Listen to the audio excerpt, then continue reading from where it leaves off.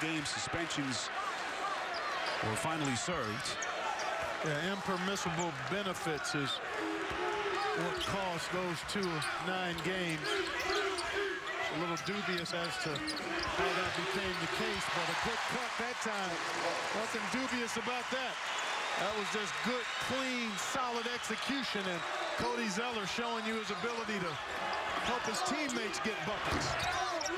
Three-pointer bit short from Stigall, the senior. So the Hoosiers have it up three. We come up on six to play before halftime. Oladipo checked by Dunham.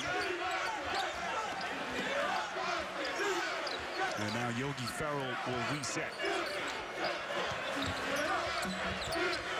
Nice job by Andrew Smith, really trying to body up Zeller. Andrew Smith, the rebound.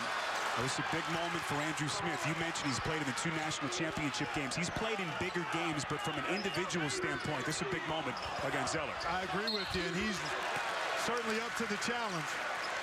Much like Zeller, you watch these two big guys play, Spero, and you can't tell what's going on in the game by their demeanor.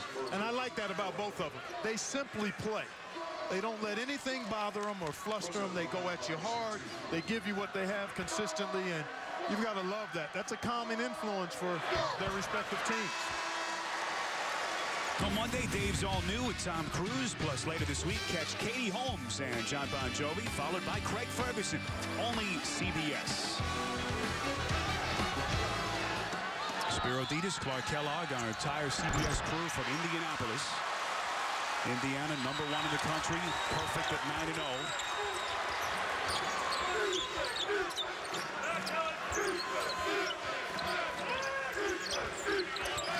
This is Ferrell. Smith gave him the shot. Offensive rebound Oladipo, and he's had a big half going glass to make it a three-point game. Ten points for the junior out of Upper Marlboro, Maryland. Roosevelt Jones, and look out. Boy, Zeller's going to get right back onto his feet after taking a nasty spill. Roosevelt Jones has had some success off the dribble. There you see him using that tight handle and strong body to get into Sheehey and draw the foul. Good effort by Zeller to get there. But Jones with an opportunity to add to his point total. If you said that Butler would be down only three points, Clark, with five and change left in the first half, despite Rotnei Clarke shooting one for five, I don't think many people would believe you. Yeah, you're right, but that shows you what this team is about. And the game is a team game. So you need different guys to step up at different times. And Butler's doing it because they've defended pretty well. And other than turnovers, have not really allowed open court scoring opportunities.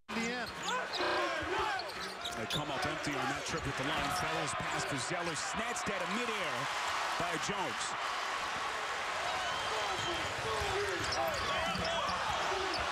Clarke taking Sheehey into the paint.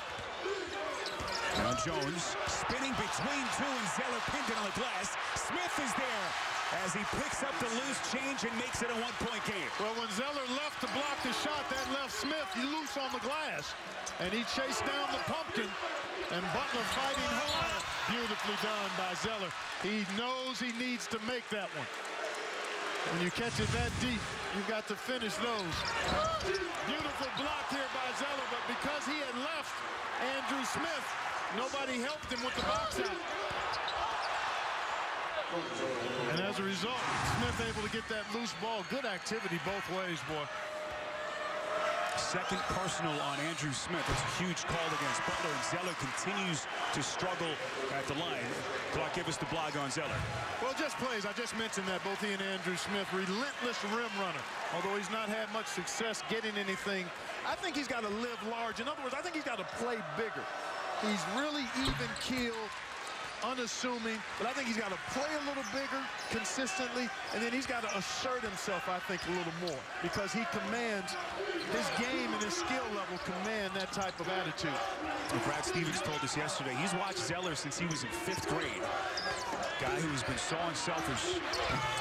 And said, really, you the jury's still out on whether you need to double Zeller as an offensive player. As Sheehey spots up in the corner.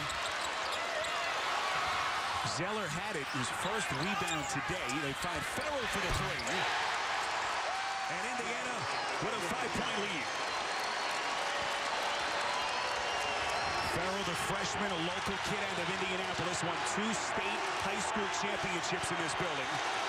And returning here for the first time since that big moment.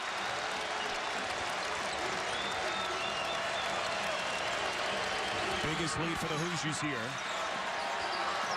Danger zone for Indiana for um, Butler. You need to get a good shot. Marshall, tough lefty bank over Zeller. Dunham finds him back inside for the two-handed flush. That's a big basket, Spero. This place was starting to get energized. Indiana put together a couple of consecutive hoops. Huge basket for Butler there. And how about that shot? Zeller on a torn fade. And Indiana's lead back to five. These Hoosiers have so many different players that can make shots and make plays to beat you. Six points for Zeller. Clarke answers with a triple.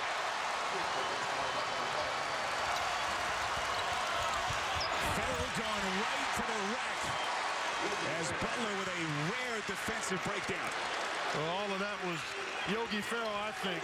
Clearly, Butler was a little slow getting back, but my, he really did a nice job attacking that seam and quickly.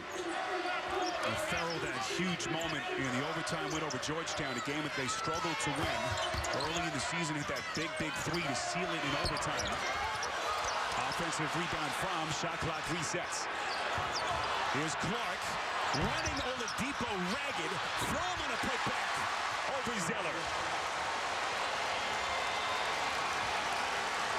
Tell you what, we talked about Indiana's off. Both of these teams average about 13 offensive rebounds a game, so they attack that offensive glass well. And Butler doing a nice job the last five minutes converting. That's not the shot that Yogi Ferrell should be looking to take on a regular basis. And Clark, you wonder if Butler can maintain this kind of pace. Not sure they want to play at this kind of speed. But you have to take your opportunities as they avail themselves, Spero. And I think they're capable of doing it because they're good enough defensively and they've got shot making, particularly at the three-point line. Clarke thought he was fouled. Here comes Ferrell, the speedy point guard. Great job getting back. And Sheehey fires a three and sticks it. We might not get to the under four-minute break. this was being played on roller skates. A briskly moving first half. This border war between the Hoosiers and Bulldogs from Butler, separated by just 56 miles.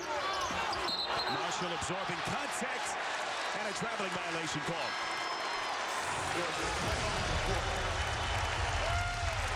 Eighth Butler turnover as Indiana's lead now at five.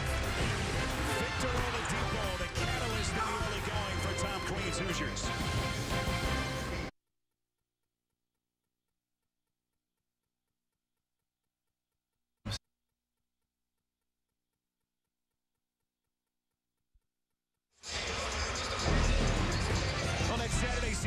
CBS Road to the Final Four continues as number nine Kansas takes on the seventh-ranked Ohio State Buckeyes in a rematch of last year's national semifinal. That's next Saturday, 4 Eastern, right here on CBS Sports.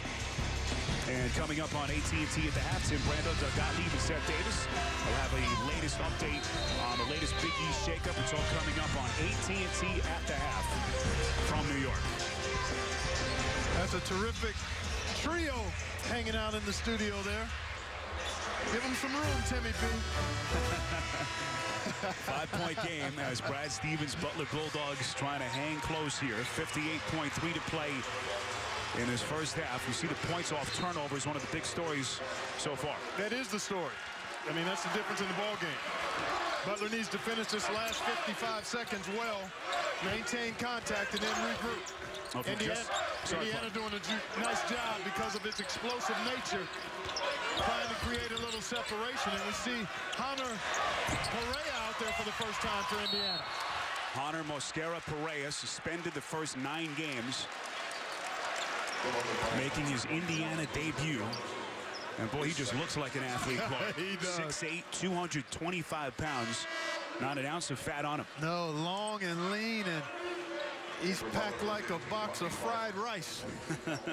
he's tight. Well, there he is. He had been dealing with a foot injury, but practicing the last two and a half weeks, finally making his first appearance for Tom Crean today. They like his length, his athleticism. They think he'll rebound at a high level immediately as he gets some game reps under his belt. You know, practice is one thing, but the meter goes up about 20% when you get in front of 17, 18,000 people and it's live game action. And there's only one way to get acclimated to that, and that's to be in the mix. Well, they say he can dunk on a 12-foot rim, so I'm not sure he needs the extra juice. As Abell steps up, hits two big free throws. Indiana, if you've just joined us, started the game shooting 7 of 20 from the field. They've hit 7 of their last 11, and now taken their biggest lead of the day. Butler wants to max this clock out and try to make this the final shot and possession of the half. About a three-second differential. Well, I think they need to milk it so that at the very least, it's a, at the very worst, it's a seven-point deficit. Shot clock at 13 tripped up. Did Marshall on the play. Clarke has it. Four to shoot. Clarke surrounded in the corner. And a huge wow. call on Indiana wow. to bail out Butler. Boy, I tell you, that was pretty good defense by Indiana, I thought. Let's take another look at it. Good activity, good closeout, good ball pressure. Um, can't see anything from there, but that doesn't mean there wasn't a smack or a hit. But good activity by Indiana. Now definitely Butler. No shot clock in play here. And this is where Brad Stevens excels as a coach. He's excellent with his out-of-bounds play calls and diagramming.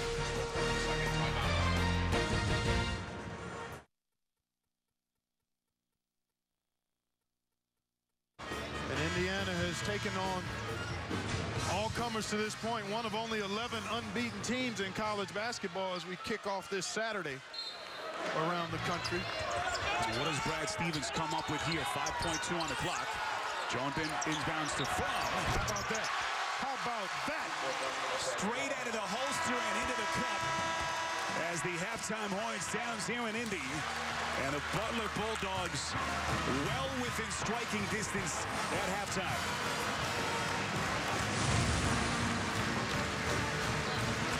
I don't know how Indiana lost track of Fromm but he was wide, wide open. Two guys went with Clarke in the corner. That's how he got open. And that's the end of the first half with your score, Indiana 37 and Butler 33. We now send you to Tim Brando in New York.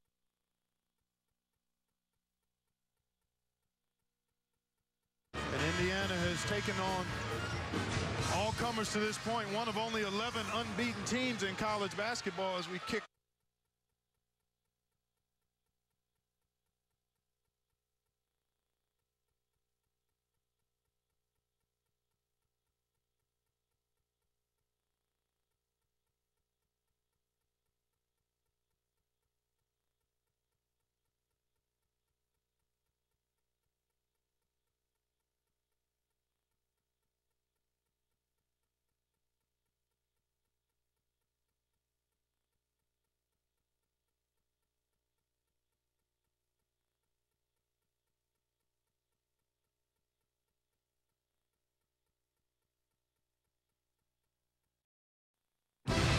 CBS Sports College basketball coverage is sponsored by Walmart. We're so confident in our low prices, we guarantee them. K Jewelers, the number one jewelry store in America. Every kiss begins with K. And by AT&T, rethink possible. Just about ready for the second half here in Indianapolis. 37-33, the Hoosiers out in front by four Spero Dedes and Clark Kellogg.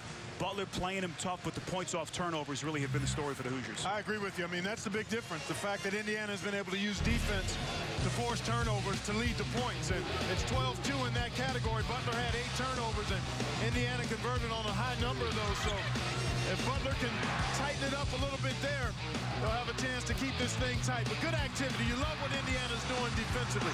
Active hands, Tom Crean and a lot of coaches across the country chart deflections, and Indiana had a bunch that first half. And our first half stats presented by Lexus. See the field goal percentage. Butler has really struggled, and their two top three-point guys, Clarke and Dunham, yet to get going. Yep, and 12 to 2 points off turnovers, as we talked about. A lot of people asking before this game just how good is this Butler team trying to get back into the NCAA tournament. You know, is Indiana worthy of being a number one? They certainly proved it with the big, big win over Carolina a couple of weeks back. Hoosiers at 9-0, Butler 7-2 coming in. Clarke around the screen. Pretty Clark good look for him there, Spero. Now two of six on the day. Ferrell's pass right at the foot of Watford, and Indiana turns it over. Well, so far, Indiana concentrating so much on negating Clarke and Dunham, and they've done a pretty good job. You see only seven attempts between the two, actually eight now. And Indiana taking care of that aspect of things, but you also saw 14 of the 34 points for Butler, second chance points. So that's an area that I'm sure was addressed by Indiana in the locker room to clean up the defensive board. Now, we watched both teams, and certainly much of Tom Crean's practice was built around slowing those two players. Rotnei Clarke, the man with the basketball, and the freshman Kellen Dunham, who right now is on the Butler bench. Actually, Dunham has not started. This is his third straight game coming off the bench, and, and the prior two, he went for 28 points combined, so seems to be pretty comfortable coming off the bench, and Roosevelt Jones is comfortable down on that low box, using that ample frame of his to carve out space. So a two-point game here. 18.45 to play, early stages of the second half. These two teams an hour's drive apart, yet separated by so much in terms of tradition and history. Doing battle today. Ferrell blocked inside by Jones. Southpaw runs the open floor.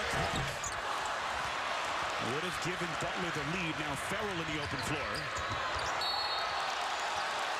Reach and foul charged to Alex Barlow.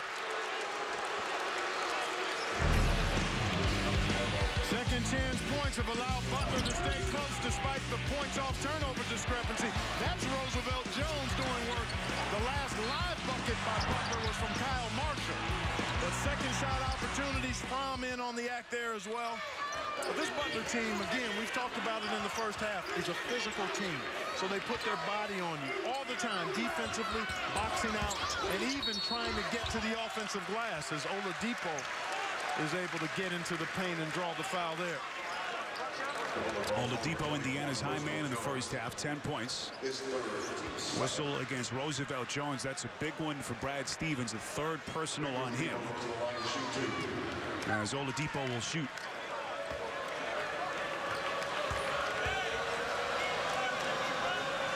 Oladipo, the junior, played his high school basketball at that legendary program, DeMatha.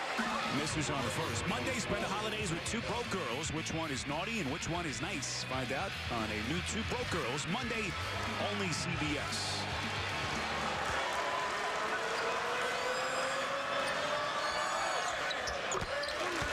Oladipo makes it a three-point game. Indiana enjoying an advantage at the free throw line. No surprise there, Spero. They come in having made 94, 95 more free throws on 113 more attempts.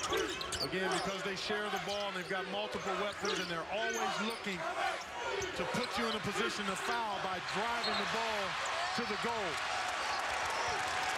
No, the Indiana defense blanketing Butler on that possession.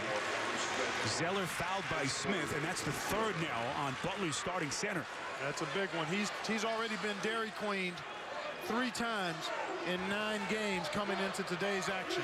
And as a result, he only averages 22 minutes of playing time. So two of Butler's starters up front playing with three. Smith defending Zeller about as well as he could have with the fouls. And then Watford fouled on a putback attempt. He'll shoot. Watford very quiet so far, just one of two on the day, two points in 11 minutes and change. I love the fact Indiana went right inside to Zeller after Smith picked up that third foul. And as a result, they got an inside shot attempt, and then the board was loose or free. And Watford, a 92% free thrower at the line. Clark, give us the blog on Watford. I love the fact that he's a big guy that can shoot the ball. He's an excellent three-point shooter, so he's a floor spacer. He's doing a better job actually having a career-high year in rebounding, and he's a matchup migraine. Because of his ability to space the floor, his size, pretty good athlete as well. Opposing teams really wrestle with how to defend Christian Watford. Wofford now the senior out of Birmingham, Alabama, the preseason Wooden Award list for him. Guy whose star was born last December the 10th. Forever. In Bloomington. A shot to defeat Kentucky, the number one team in the country. Oladipo continues to do it to the Bulldogs today. 10th Butler turnover. And Indiana's lead now is seven. Hoosier fans making themselves heard here in Indy. Timeout.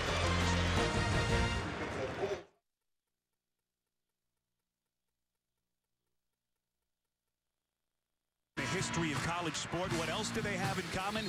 Tim Garl, the only man who has worked with both legends, was a student trainer under Bear Bryant at Alabama, and there he is now in his 26th campaign as the head basketball trainer with the Hoosiers.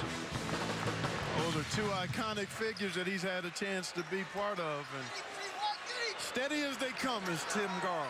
And efficient and excellent at what he does. How many incredible players has he worked with over the years. Also a trainer on the 1984 U.S. Olympic basketball team. Mm -hmm. First team foul there committed by Yogi Ferrell on Indiana. Butler has already committed 14 fouls, and that's something to keep an eye on. Indiana's going to continue to attack, to apply excellent pressure defensively. And make it tough offensively for Butler. And then when the Hoosiers have the ball, they're going to throw it inside or try to drive it and really put pressure on Butler to defend without fouling. There's so many things you have to be able to negate when you play a team as potent as Indiana. Keep them out of transition. Don't give them second shots. Don't turn it over. Don't send them to the free throw line. That's why they're the number one team in the country, because they can beat you a lot of different ways. Jones has had a big day picking up the scoring slack. For Rotnei Clarke, who's got only six. Jones today, 10 and 9 boards, not to mention five dimes. Yeah, he leads the team in assists at about four games, Spero, and does it with craftiness. That looks like an offensive foul.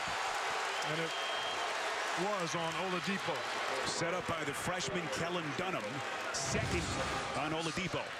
Nice job anticipating that Oladipo wants to go hard to the right hand. I think it was the lowering of the shoulder just a bit that earned Oladipo that foul. So just when you thought that Butler was going down, they seized the momentum back. Forever the little engine that could as Jones misses a little turnaround bunny. I like the fact they attacked Jordan Hulls, though, the last two possessions, trying to defend Jones. Open look for Ferrell. Offensive rebound by Zeller. Zeller wants to take Fromm, and a blocking foul call. Andrew Smith on the Butler bench with three personals. And Zeller's eyes lighten up with Fromm in front of him. Well, it's one thing to have your eyes lighten up, light up, but you need the ball skills to be able to make it pay, and he's got those. Showed you a nice little crossover dribble that time, and Andrew Smith with three fouls. Going to continue to sit and be a matter of how long can Brad Stevens afford to have him on the sideline. Oladipo slithering past Jones. Roosevelt Jones, by the way, still playing here with three fouls as another blocking foul charge to Butler. We'll get a timeout.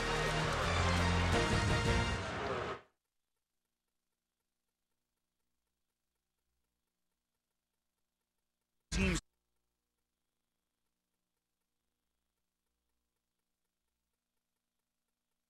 six seasons with the Golden Gophers, and some teams that were expected to be a little better at this juncture. Obviously, Texas without Myck Kabongo. West Virginia is a young team under Bob Huggins this year. They've got a big game against Michigan later on the night, and then Purdue we'll see after this game, or actually we'll, they'll play here at Bankers Life Fieldhouse after this game against a really good Notre Dame club.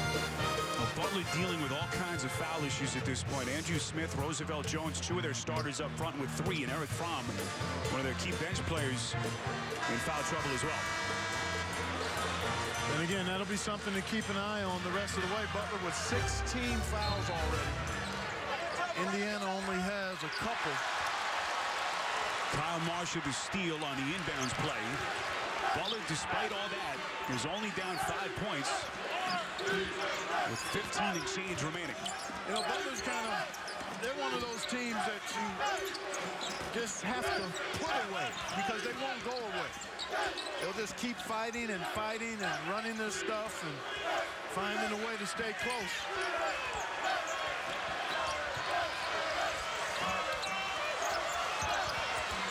Clock down to three. Jones spinning down the paint and finishes point play. That's the kind of day it's been for Jones. He's got a dozen. Oh, that is so fun to watch. Oladipo bangs the three. So is that. this kid is some kind of player. I tell you, when you think about where he was as a freshman, you saw the athleticism, you saw the potential, that he has really done the work. They like to say there's no grub if there's no grind. In other words, there's no eating if there's no work. And Victor Oladipo is eating because he's done the work. Crean says he's the hardest working player in this Hoosiers program. He's lived at the Cook Center, the 24-7 facility that they built for players. They've got to kick him out of there sometimes. He works so hard and so long. As Jones continues to do it for Brad Stevens, it's a four-point game.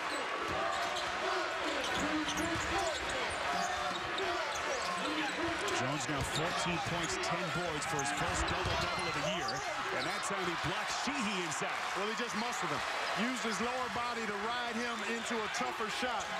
And then came up with the, the rebound. Jones doing it all.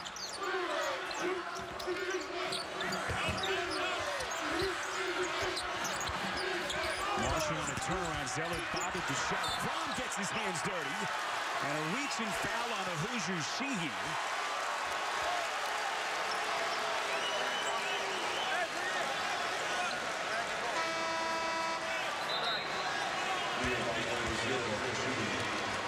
So Sheehey whistled for his second. Crean will make some changes.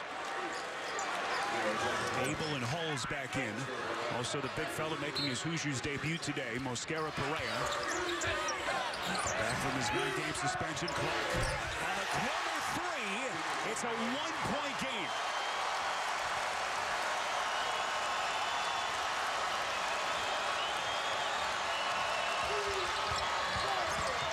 Nine-three run for Butler. There's Mosquera Perea for his first that? bucket as a Hoosier. How about going down and fighting for that pumpkin in the paint? Andrew Smith at the scorer's table, Spero, about to check in for Butler with the three fouls. The freshman born in Colombia. Here comes Clarke baseline, going glass.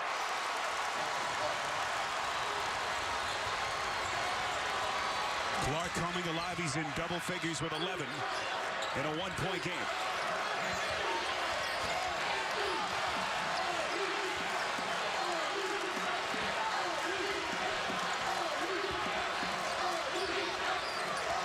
Sheehey. The senior Hulls changed his mind. Watford. And a foul underneath if it's on Jones. That's his fourth. And that is large. Is there a different team when he's not able to be out there facilitating, defending, posting up? And that is his fourth foul. And it'll be the one and one for Indiana.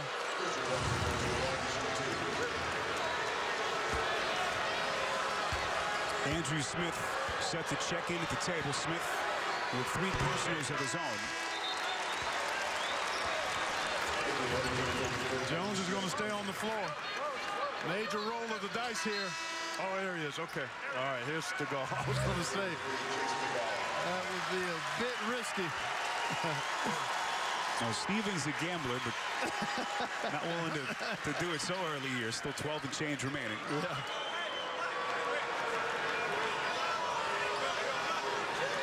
And how about Butler, despite the early struggles, not much from Rotnei Clarke, their leading scorer in the first half. They're right there, only down two points.